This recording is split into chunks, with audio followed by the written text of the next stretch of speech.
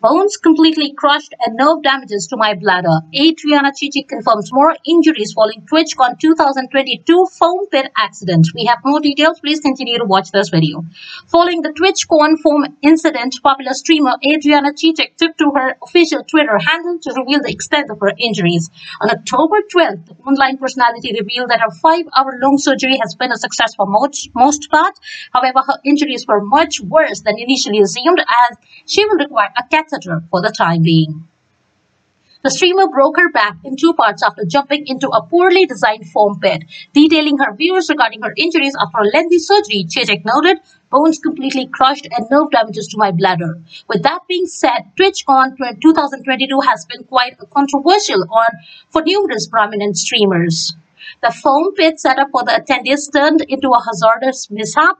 Believed to be too shallow, the foam layer was just found to be a mere two feet above a hard concrete floor. This culminated in numerous streamers inadvertently incurring injuries, with the most notable case involving Adriana Shishik. A few days after the incident, Shishik updated her fans after undergoing extremely lengthy surgery for her broken back.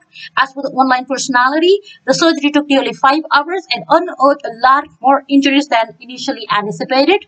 Furthermore, the streamer revealed that there were no more fusions than expected with her bones and nerves completely crushed. She also had some bleedings around the bone but will be able to be again normally in a few days. Despite going through a lengthy and complicated procedure, Adriana Shishik kept a positive spirit and even promised to keep her fans updated. So that's all we have in today's video. Please continue to watch this space for more informative news. Thanks for watching us. You have a wonderful day ahead. Bye-bye.